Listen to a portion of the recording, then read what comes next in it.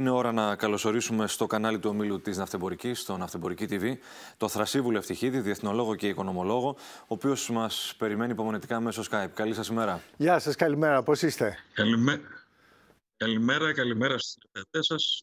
Προσπαθούμε να είμαστε όλοι καλά με αυτά που βλέπουμε. Ναι. Δηλαδή, τι σημαίνει αυτό, ότι είστε ανήσυχος. Ε, μια ανησυχία σχετικά με το τι θα συμβεί φυσικά και υπάρχει. Με όσα συμβαίνουν δεν μπορεί κάποιος να είναι ήσυχος. Ε, εξαιρετικά κρίσιμες οι ώρες. Ναι. Κανένας δεν μπορεί να κάνει μια ασφαλή πρόβλεψη αν θα υπάρξει. Το maximum ποιο θα ήταν, όχι. Ε, ε, ε, κύριε Ευτυχίδη. Το maximum, δηλαδή η πιο μεγάλη ανησυχία. Δεδομένου των συνθηκών, έτσι. Είναι μια γενικότερη εμπλοκή, άμεση εμπλοκή και πόλεμος μεταξύ Ιράν-Ισραήλ. Απευθείας Ιράν-Ισραήλ ή μέσω αντιπροσώπων απευθείας πλέον. Ε, ε, απευθείας Ιράν-Ισραήλ μέσω ανταλλαγής ε, πυραυλικών χτυπημάτων ή και αεροπορικών χτυπημάτων. Κάτι που είναι επίσης πιθανό. αυτή τη στιγμή πιστεύω ότι κανένας δεν θέλει αυτό το πόλεμο. Εγώ και το Ιράν που εμφανίζεται αυτή τη στιγμή να ζητάει τον πόλεμο προσφεύγει στη Σύνοδο των Ισλαμικών Κρατών που συνέρχεται αν δεν κάνω λάθος, σε καμία ώρα από τώρα στη τζέντα της Σαουδικής Αραβίας, όπου είναι η έδρα, το Ιράν θα προσπαθήσει να επιτύχει περίπτωση που αποφασίσει τελικά να χτυπήσει το Ισραήλ. Ε, αν και πιστεύω ότι ούτε στο Ιράν συμφέρει να συμβεί κάτι τέτοιο, ένας εκτεταμένος πόλεμος θα δημιουργήσει τεράστια προβλήματα σε όλους και στην παγκόσμια οικονομία οι συνθήκες δεν είναι καλές, είναι το κερασάκι ίσως στην τούρτα. Δεν ε, μιλάμε για περίπτωση πολέμου φυσικά με πυρηνικά όπλα. Ναι. Ε, υπάρχει ανησυχία, το Ισραήλ γνωρίζουμε ότι τα έχει, και ότι και το Ιράν μπορεί πιθανά να έχει.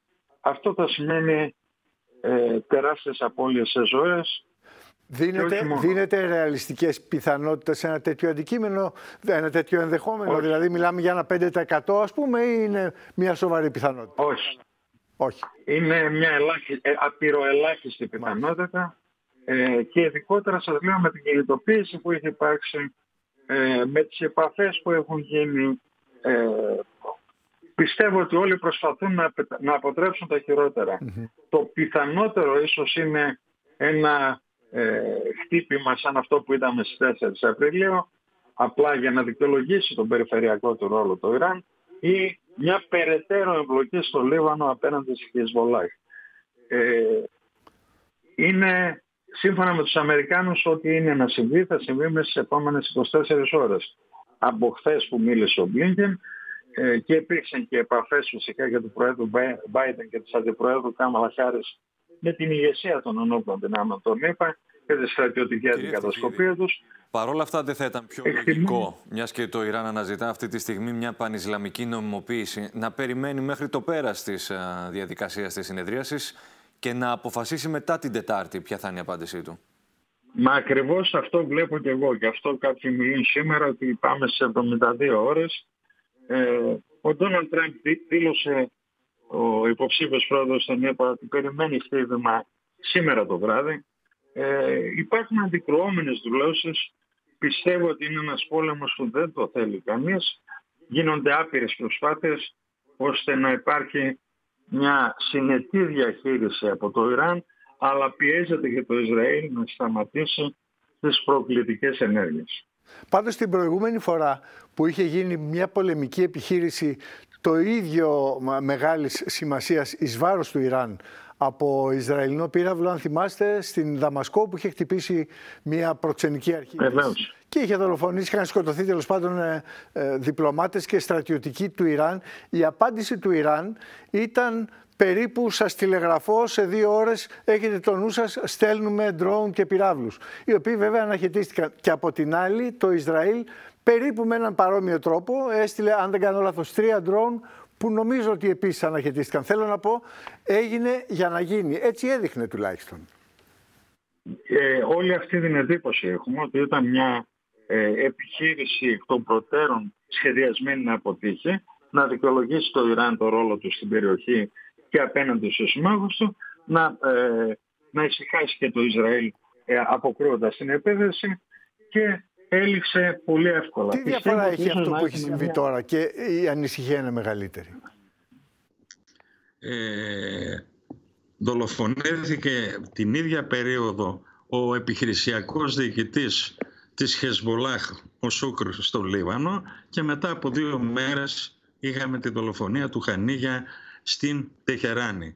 Το Ισραήλ φυσικά δεν έχει αποδεχθεί την ευθύνη, αλλά το Ισραήλ δεν έχει αποδεχθεί ευθύνη για καμία από τις πολιτικές δολοφονίες που έχει πραγματοποιήσει μέχρι τώρα. Ούτε την αποποιήθηκε ποτέ βέβαια, έτσι. Ούτε την αποποιήθηκε. Ούτε, ούτε την αποποιείται, αλλά ποτέ δεν αποδέχεται την ευθύνη.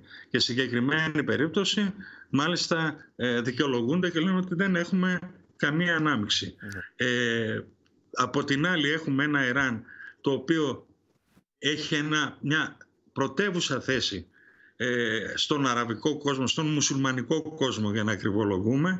Ε, έχει τους δορυφόρους οργανώσεις της Χεσμολάχ, των Χούτι, ε, σιητικές οργανώσεις στο Ιράκ θέλει να αποδείξει αυτή την περιφερειακή του δύναμη και είναι ύψιστη προσβολή η, το χτύπημα ένα, ενός τόσο σημαντικούς στόχους μέσα στην πρωτεύουσα του στην Τεχεράνη. Από τη, από τη μία ναι. το γεγονός ότι το Ισραήλ δεν ε, αναλαμβάνει την ευθύνη για τα δύο αυτά χτυπήματα λειτουργεί με έναν τρόπο ως απονομιμοποίηση μιας ενδεχόμενης απάντησης του Ιράν. Όχι. Όχι, όλοι γνωρίζουν ποιος έχει κάνει και τις δύο επιχειρήσεις. Ε, στην περίπτωση της Χεσμολάχ το είχε ανακοινώσει το Ισραήλ ότι αυτοί ήταν που πραγματοποίησαν την επιχείρηση.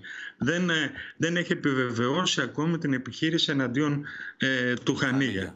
Σε κάθε περίπτωση υπάρχει εντολή του Χαμενεή, του θρησκευτικού ηγέτη του, του Ιράν, να υπάρξει απάντηση. Και ο Χαμενεή αυτή τη στιγμή είναι ο άνθρωπος που εμπολές κυβερνά ε, το Ιράν. Θα πρέπει λοιπόν να περιμένουμε μια έστω και ελάχιστη απάντηση. Δεν ξέρουμε ποια θα είναι. Η παρουσία τώρα, η παρουσία του γραμματέα του Συμβουλίου Ασφαλείας της Ρωσίας, του Σεργέη Σοϊγκού, στην Τεχεράνη, πώς διαμορφώνει τις διεθνείς ισορροπίες; Ο Σοϊγού ήταν, ο Σεργέη Σοϊγού ήταν ο πρώην Υπουργός Άμυνας. Κατά την ε, ε, θητεία του Υπουργού Άμυνας, ως Υπουργού Άμυνας, υπέγραψε ε, σημαντικές αμυντικές συμφωνίες με το Ιράν για στρατιωτική συνδρομή προφανέστατα της μίας χώρας προς την άλλη. Στη βάση αυτής της συμφωνίας είδαμε τους Ιρανικούς Αχέντ να τροφοδοτούν τις ρωσικές δυνάμεις.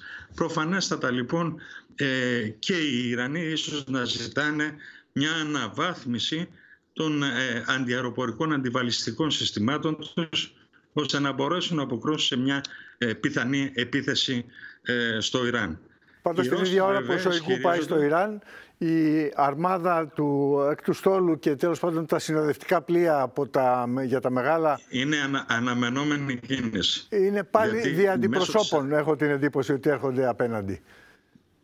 Ε, κοιτάξτε, και την προηγούμενη φορά στις 4 Απριλίου χρησιμοποιήθηκαν τόσο οι Αμερικανικές ναυτικές δυνάμεις όσο και οι βάσεις των Αμερικανών σε διάφορες περιοχές αλλά και αντιαεροπορικά συστήματα άλλων χωρών που παρεμβάλλονται ε, όπως της Ιορδάνιας, όπως της Σαουδικής Αραβίας όπου λειτουργεί να θυμίσω και ένα δικό μας ε, Πυροβολαρχία Πάτριωτ. Επομένως, έτσι. Και χρησιμοποιήθηκαν φυσικά οι αεροπορικές βάσεις στην Κύπρο τα, τα βρετανικά αεροσκάφη που επίσης ενεπλάκησαν, τα αμερικανικά F-16 από τα, ε, από τα αεροπλανοφόρα και κατάφεραν το χτύπημα να μην έχει ε, καμία δύναμη, να είναι ελάχιστες Πάντως, οι έχω την αίσθηση ότι είναι καθοριστικής σημασίας η επανάληψη μιας δήλωσης από την Αμερικανική πλευρά, νομίζω ήταν Υπουργός Άμυνας, ο οποίος είπε συνεχίζουμε να εγγυόμαστε την ακαιρεότητα και την άμυνα του Ισραήλ.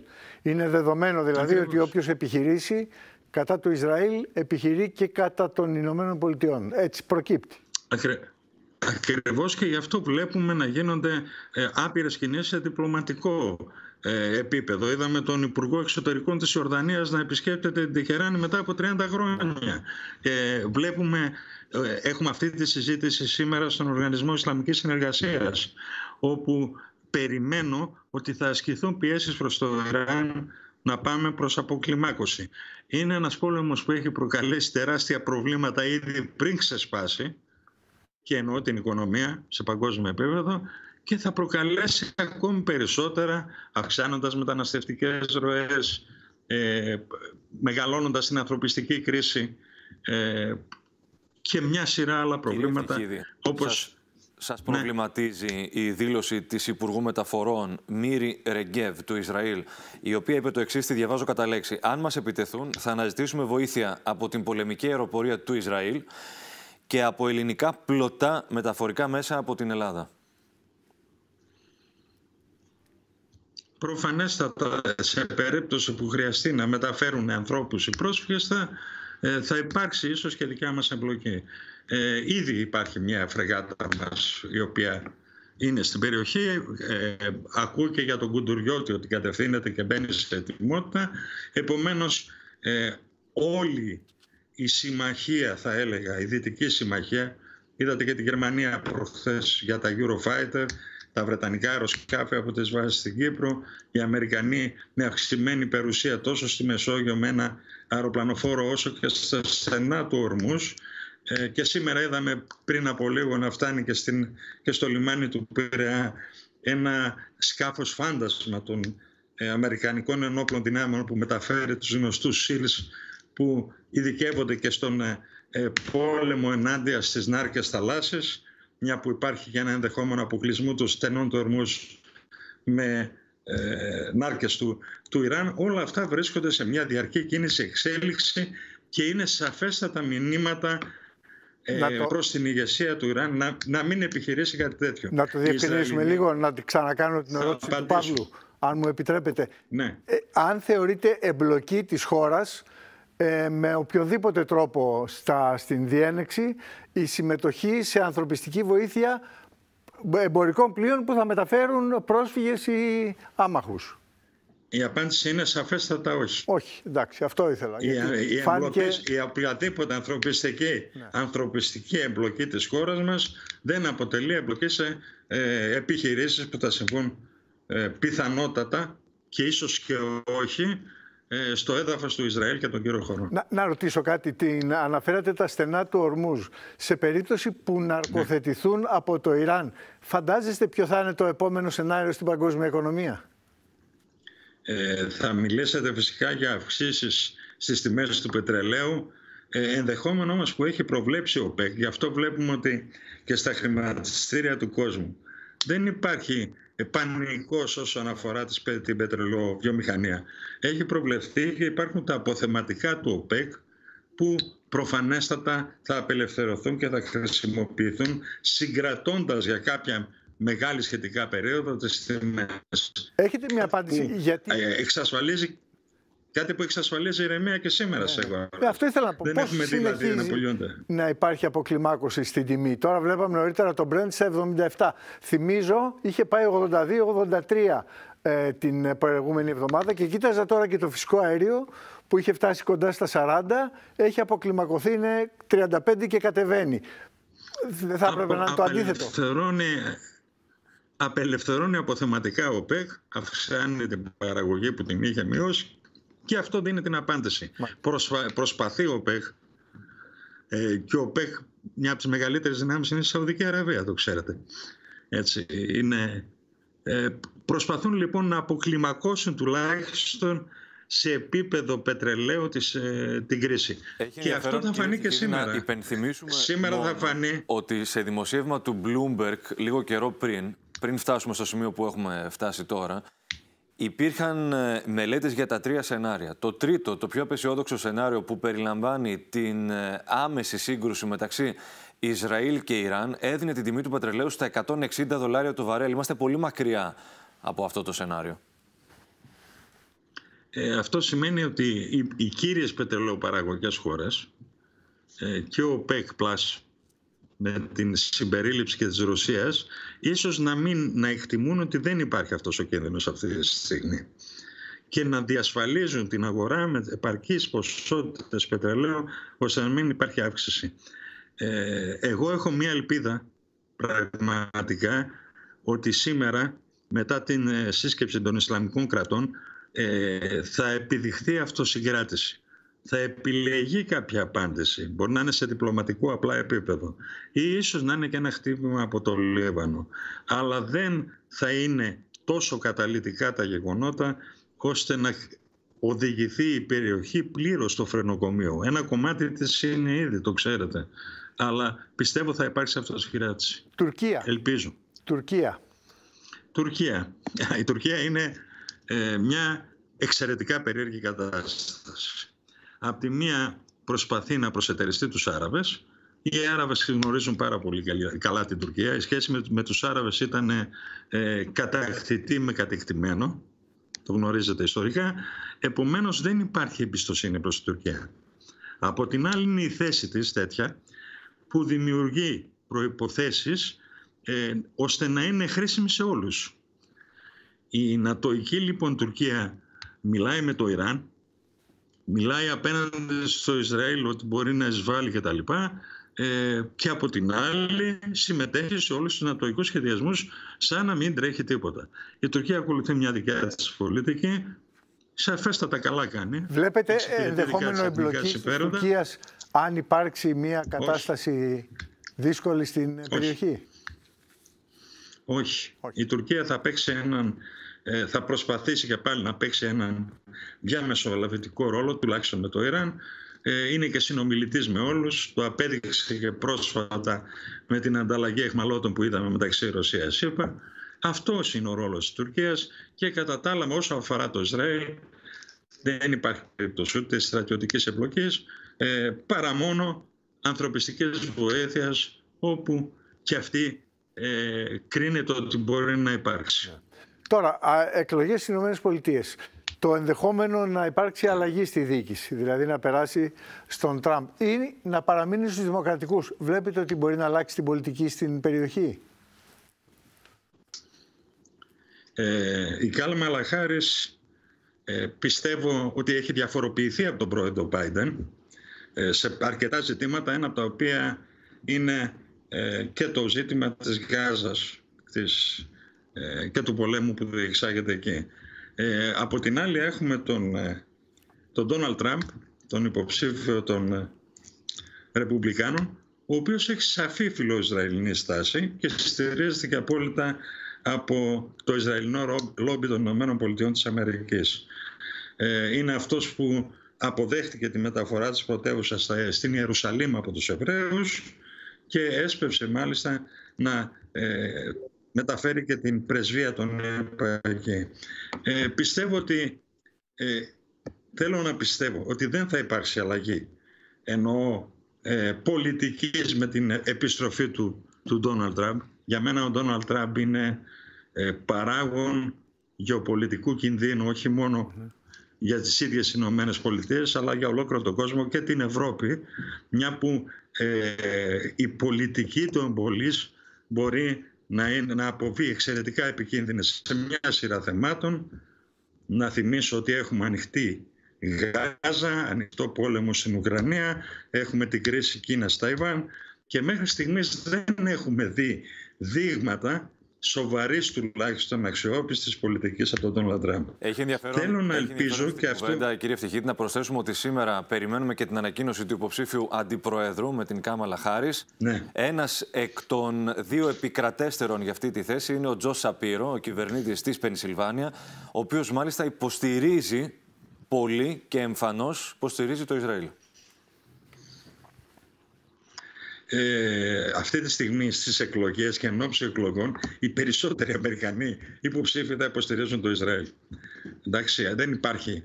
Και αν θέλετε Ο άλλος αντιπρόεδρος όμως έχει πιο μετριοπαθή στάση απέναντι στο Ισραήλ. Ο άλλος ε, που είναι το, από τους επικρατέστερους δύο, ο Τιμ Βόλτς, κυβερνήτης της Μινεσότα. Ε, δεν πιστεύω σε κάτι τέτοιο. Είναι το Ισραηλινό λόμπι έχει τεράστια δύναμη στι ΗΠΑ, αυτό το γνωρίζουν όλοι.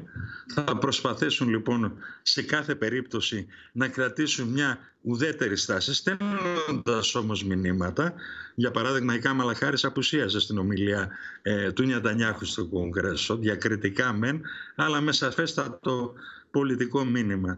Ε, οι Αμερικανοί εμφανίζονται διαλλακτικοί, εμφανίζονται ότι θέλουν να συγκρατήσουν το Ισραήλ. Στην πράξη όλοι γνωρίζουμε ότι τίποτα δεν θα συνέβαινε στην περιοχή αν δεν υπήρχε απόλυτη έγκριση και στήριξη, βοήθεια, κάλυψη, ε, αμυντική βοήθεια των ΗΠΑ. Αν σας άρεσε το βίντεο, πατήστε like και εγγραφή στο κανάλι. Για να λαμβάνετε πρώτη τις ειδοποιήσεις για νέα βίντεο, πατήστε και το καμπανάκι. Σας ευχαριστούμε θερμός για την υποστήριξη.